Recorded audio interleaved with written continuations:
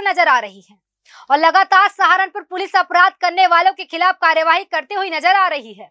लेकिन फिर भी कुछ ऐसे अंतर्राज्यीय लुटेरे हैं जो सहारनपुर पुलिस के लिए सरदर्द बन चुके हैं और लूट जैसी वारदातों को अंजाम देने से बाज नहीं आ रहे। आपको बता दें कि अंतर्राज्यीय लुटेरे गैंग के सदस्यों ने कुछ दिन पहले आठ लाख की लूट की घटना को अंजाम दिया था, जिसको लेकर सहारनपुर पुलिस तभी से इनकी तलाश में जुटी हुई है। आखिरकार सहारनपुर पुलिस ने इसमें सफलता भी हासिल कर ली है। लेकिन फिर भी इस तरह के लुटेरे सहारनपुर पुलिस के लिए सरदर्द बन चुके हैं। इसी महीने 21 तारीख को थाना देवबंद के अंतर्गत एक लूट की घटना हुई थी, जिसमें जो ग्रामीण बैंक रहते हैं, उसके कर्मचारी से आठ लाख रुपए बाइक सवार बदमाशों ने लूट लिए थे।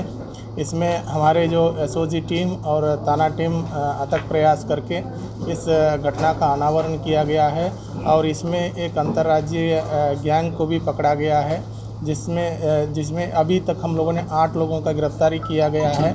इन लोगों के पास जो नाजायज़ असलाह और जो लूटे गए जो पैसों में पाँच लाख बयासी हज़ार रुपये अभी तक बरामद हुआ है और जो कारतूस बरामद हुआ है इनके पास से। तो ये इसमें एक कर्मचारी वहाँ भी काम करता था उसी ग्रामीण बैंक पे। वो भी इसमें अ, रेकी करने में और ये बदमाशों में सहयोग देने में उनका रोल है और उनका भी गिरफ्तारी किया गया है। और शेष अभियुक्तों के पास जो बचे जो पैसा है वो है उनका गिरफ्तारी करने के लिए टीम गठित किया गया है। और पूरी टीम को मेरे द्वारा पच्चीस हज़ार रुपये का इनाम दिया गया है।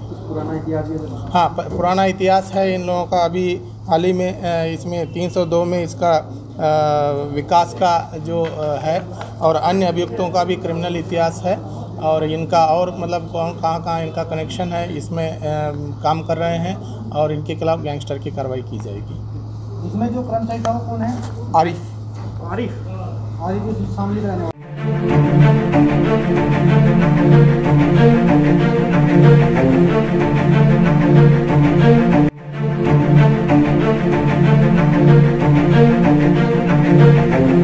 ऐसा अवसर फिर नहीं मिलेगा। अब हरियाणा सरकार की दीनदयाल आवास योजना के अंतर्गत सेक्टर वन तरावड़ी में 135 और 142 गज के प्लॉट्स मात्र इक्कीस हज़ार रूपए देकर बुक करवाएँ। क्रेडिट सोसाइटी सड़क sewerage street light park community centre तुरंत रजिस्ट्री और पोसेशन भी। Call nine four double six zero three four triple zero